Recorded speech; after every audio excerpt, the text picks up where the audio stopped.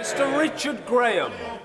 Mr Speaker, this summer, in my constituency of Gloucester, as everywhere around the country, people will be looking forward with huge excitement to the start of the Olympic Games in our country opportunity to celebrate how well the UK manages these great global events.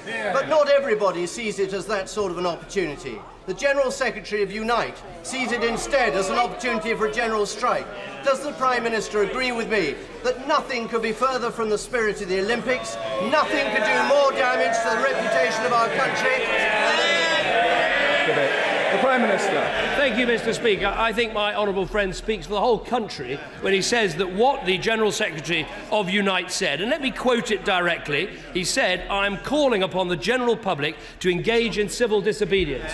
That is what he said. And let us remember, Unite is the biggest single donor to the party opposite, providing around a third of their money and had more role than anybody else in putting the right honourable gentleman in his place. It is not good enough for them just to put out a tweet. They need to condemn this utterly and start turning back the money.